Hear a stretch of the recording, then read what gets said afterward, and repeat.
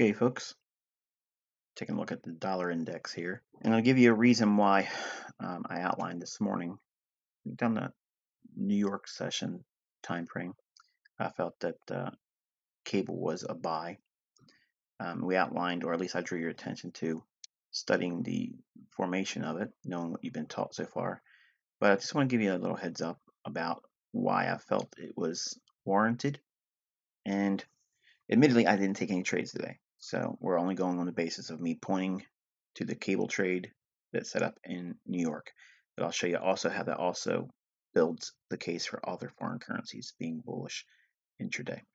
All right, so uh, we had Friday's trading in here. It, it, gave up a lot of the range on Friday from its high, and we started a new week here.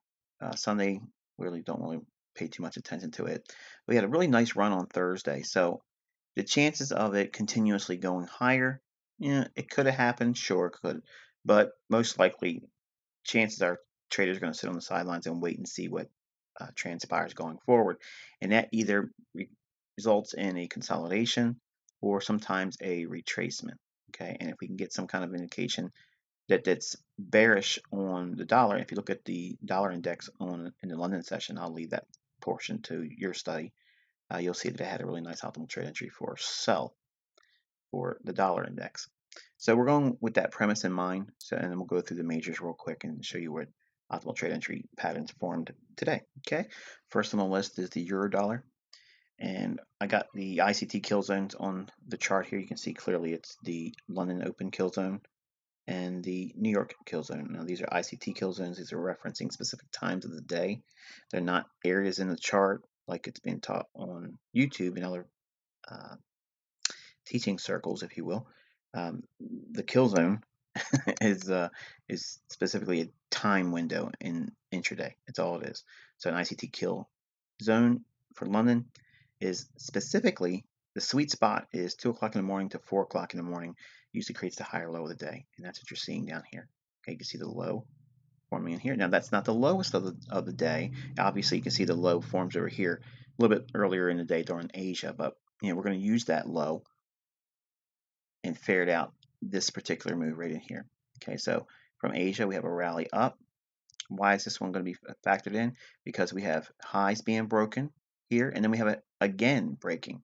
So if we do get a retracement while the dollar is bearish, we pull up our optimal trade entry in here. All right, and we'll drop that right here. What I'm doing is I'm laying the, the line right on top of these bodies of these candles here and here. Boom, right there. Optimal trade entry, London open, rallies up, symmetrical price swing. Now look what happens. It, it gets one, two, three times, and it leaves a really clean price level. And I, have mentioned this many times before uh, in my group. we refer to this as Candyland. Okay, this is a sweet spot of liquidity. Now the market does in fact retrace all the way back down into another what? Optimal trade entry. Notice it's using the same reference points framed off of this range. Went right back down to the sweet spot, 70.5 level, and then rise all the way back up to do what? Clear up these buy stops. Too even, too clean. Charts don't like to keep that stuff uh, intact. The markets will come back and disrupt that perfection. Okay, so that's what that run is here beautiful example of that. Two examples, trade entry in the London Open and trade entry in the New York session. Okay, next on the list is Euro Pound. And you can see here the London Open kill zone. ICT time window for looking for the London higher low to form. And we're going to put our fib one. We're going to use the highest open or close down to the lowest open or close, not the wicks. Okay, you see optimal trade entry in here. Beautiful example of that. Sells off rather handsomely all the way back down into the New York ICT kill zone and takes us right down into the showstopper. This is a 200 extension, by the way. Just needed to have that little flare there in case you hadn't noticed it yet. so, beautiful example of the euro pound taking a dive. Now, notice also that the euro dollar, as we mentioned in the previous chart, didn't have a whole lot of movement. It was kind of like a, a consolidation day, back and forth. Didn't really have much of a trend, and euro pound did. So if euro dollar is being held in consolidation, and we check out what's going on over in the cable market, this will explain all this move here. Okay, so now we're looking at the cable for British Pound USD. And before I start marking this all up, obviously you can see nice low of the day. This is the low of the day on this particular pair during the ICT London Open kill zone. Sweet spot. Now again, at the beginning of this red line, at the end of this red line, just draw an imaginary vertical line, okay, right up from there, and that's how I interpret the price, okay, in terms of kill zone. Now I don't personally look at this line on my chart to, okay, to qualify. I just know that when I'm up and trading in London, that's usually the time that it's going to perform between 2 o'clock and 4 o'clock in the morning. New York time, the higher low of the day forms generally, or an important higher low, let's say it like that, because it could be, as we saw in another case uh, earlier on one of the pairs, that it can create a lower high in the Asian session. But 70% of the time, you're going to see it forms during 2 o'clock to 4 o'clock in the morning New York time. All right, so now this low, some of you don't have a Sunday candle, okay, and that's fine just go back into Friday's data and find a short-term high that was broken. The short-term high is broken right here. So now we go back to the swing low prior to that. We anchor to the lowest open or close, drag it up to the highest open or close prior to the London Open kill zone. Boom, right there. Optimal trade entry. Really, really nice run. Get up to, uh, again, the showstopper. and then uh, the ultimate uh, setup, which was today, this is kind of more of a not so much of a hindsight thing. I was trying to draw your attention to this one. I said, study this one in Twitter or on Twitter.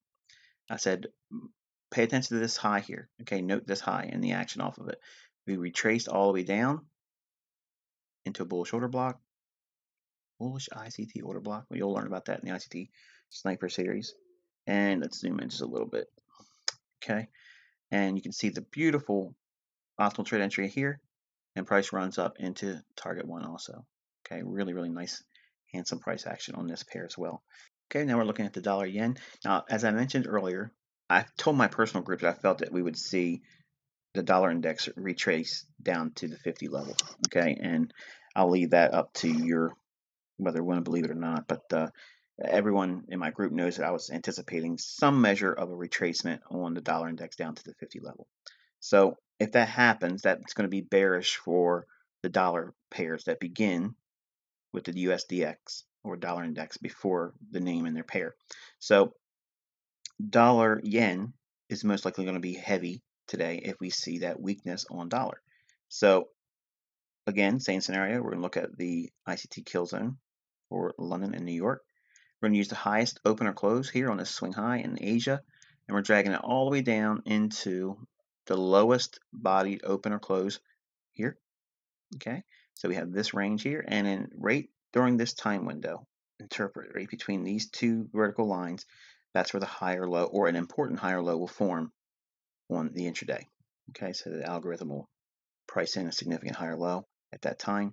You can see it goes right into optimal trade entry right there. Beautiful and price sells off. Now, if you had missed this, no problem, no worry.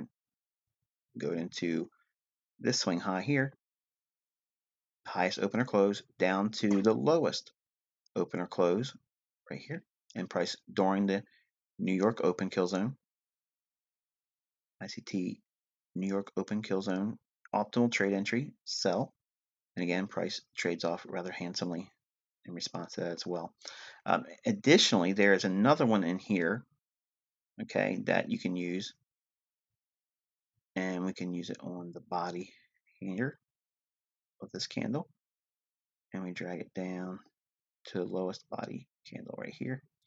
And again, nice optimal trade entry at the 62% retracement level and really nice sharp acceleration away from that and a larger uh, 200 extension off this high and off this high as he did earlier, would have called for more lower prices than just this one here. Okay, so, okay, next is the dollar CAD.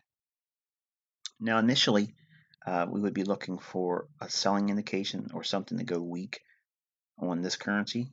Usually that happens on the, uh, the heels of a run higher. So before the dollar CAD collapsed, went lower today, it had to go higher first.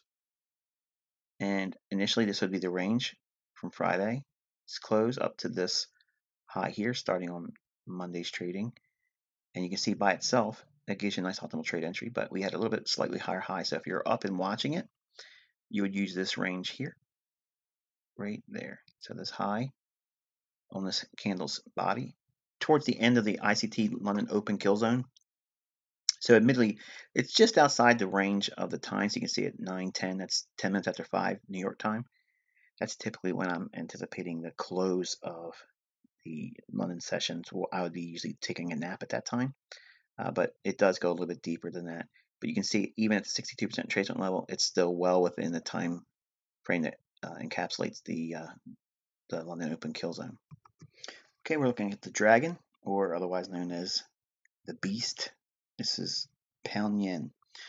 All right, so I didn't come up with these names, folks. They're just names that uh, other folks have been uh, been known to call it by.